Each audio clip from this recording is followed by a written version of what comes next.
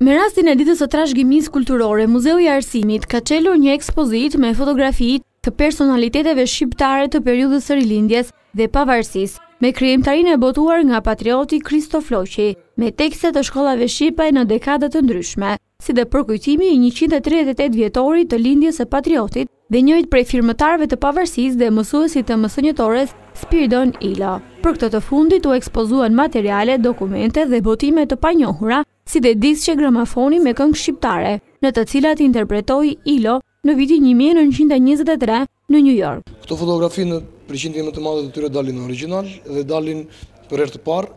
Kemi një ekspozitë tjetër në këtë ditë dhe në këtë muze nga koleksionisti korçar Mirgen Shambli, i cili ka sjellë sot në muze rreth pesëdhjetë libra, të cilat janë abetare të ndryshme që janë përdorur në shkolla shqipe që prej viteve të para dhe deri në abetaret e viteve 60 ose 70, pra pothuajse një koleksion i plotë i këtyre teksteve.